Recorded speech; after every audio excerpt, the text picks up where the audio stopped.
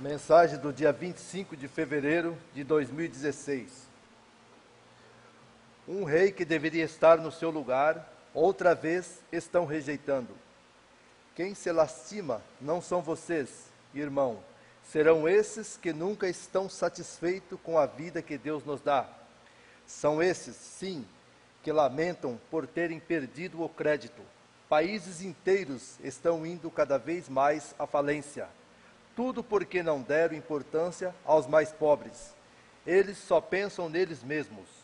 Sabe, irmão Papa Pedro II, tu, com o pouco que ganhas, estás sempre satisfeito. Mas esses que já não sabem mais o que dizem, lamentam pela perca que vão tendo. Eu, José, enquanto estava na terra, também fracassei um pouco só.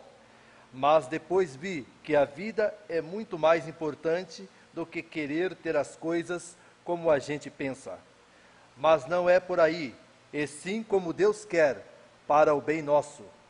Tu soubestes obedecer e continua sempre obedecendo, onde muitos sentem inveja de ti, irmão, por saberem que foste escolhido por Jesus, nosso Pai e Criador. É Ele que sempre faz toda a vontade de quem vem dando o máximo de respeito para com Ele. Um rei que deveria estar no seu lugar, outra vez estão rejeitando, que é o centro de sua igreja. E cada vez que esse desprezo vem dando para ele, mais a miséria irá bater na porta desses que se acham donos da verdade.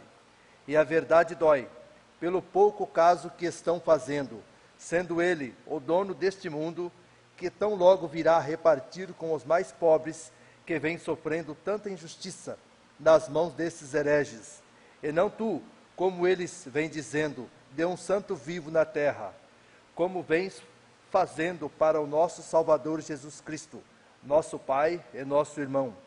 Aqui no céu podemos ver, irmão, como está sendo sincero com ele e com sua santa mãe, que é nossa também, Maria, que fui eu que cuidei dele, dela enquanto esperava nascer o Filho de Deus vivo, e agora és tu que vem cuidando de sua casa, mantendo todo o respeito junto com este sacerdote, José, filho de Maria, e Papa Pedro II.